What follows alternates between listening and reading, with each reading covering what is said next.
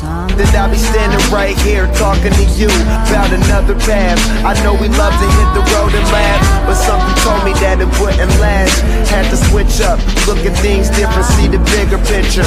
Those were the days, hard work